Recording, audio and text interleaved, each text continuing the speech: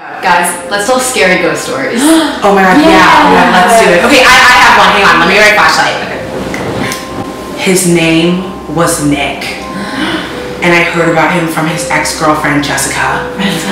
But like I thought he was different, you know? They're they're always different.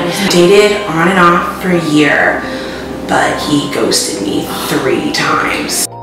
The first time he was like, oh my god, my flight got delayed and my phone died. And I was like, sure, the airport doesn't have plug.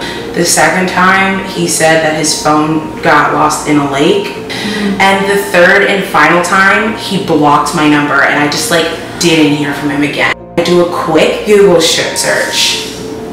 He's wanted by the police. Oh my god. For arson?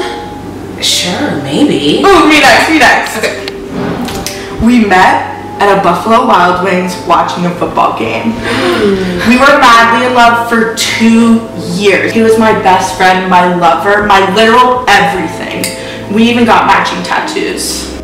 That's when he started acting distant. The last text he sent me was, You mean nothing to me, you are not my responsibility.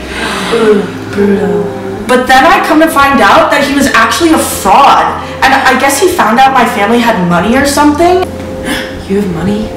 And he was trying to like start a business and then was gonna steal it from me. That's awful, but I have one that will top all of yours.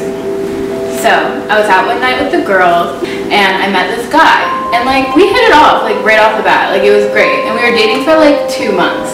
So then his birthday rolls around.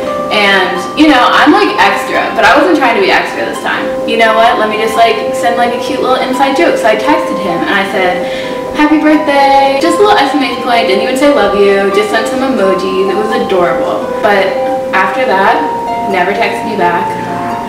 He said he'd call me earlier that day. He never called me. Yeah, so I'll never love again. I got ghosted on my birthday.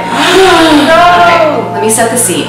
So it was my birthday dinner, and we were going to Grotto's. Already got into an argument about what bar we were meeting at, and I swear it was Grotto's, but he could have sworn it was Kate's. So the night was already a complete disaster. After that, he just stormed out. It was 2 a.m., so I was just alone in my cute outfit going to Grotto's. He texted me. He said he was leaving me in Miami. And then after that, I heard nothing. Mine's like pretty scary.